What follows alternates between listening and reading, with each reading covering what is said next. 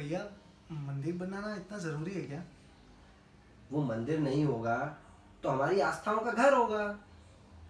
पर मस्जिद तोड़वाना अच्छा नहीं था भैया। वो तो एक आवेश में टूट गई है। बातचीत करते तो वो खुद ही दे देते वो देना नहीं जानते हैं? कुछ मांगो तो मजबूरी समझते अपना हक मांगने के लिए लड़ो तो अत्याचार कहते हैं। पर भैया वो तो कहते हैं कि अगर बातचीत करते तो वो लोग दे देते। कौन? वो शाहीन भैया। तो शाहीन की बातों का भरोसा है? भैया। तो बोलो बनारस और मथुरा हमें दे दें हम वहाँ मंदिर बना लेंगे। बोलेगा ना?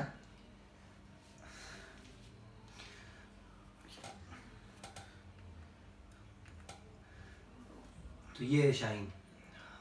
कौन है? भैया क्लासमेट है। और कुछ भी है? वो दोस्त है भैया। और कुछ? अच्छी दोस्त है। और कुछ?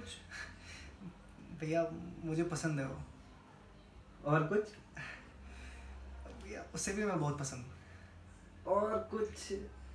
और क्या भैया और कुछ नहीं बस। क्या है वो तो तू ही बताएगा? नहीं भैया अभी कुछ सोचा नहीं है। सोचा तो होगा। नहीं भैया अभी कुछ डिसाइड नहीं किया है। मतलब डिसीज़न बाकी है ना? नहीं भैया इसमें इसमें डिसीज़न की क्या बात है? कुछ कुछ होता है? क्या? कुछ कुछ होता है। भैया प्यार करना कुछ गलत तो नहीं है। मैंने कब कहा गलत है? तो बस प्यार तो बस हो जाता है भैया। ऐसे ही अचानक। अचानक क्या? सब साजिश है? भैया इसमें साजिश क्या है भैया? बहस मत कर। भैया प्यार तो दीवाना है भैया। चुप कर। प्यार पागलपन है चुप भैया। कर। प्यार एक नशा है एक मज़ा है भैया। ए ए, क्या हुआ क्या हुआ?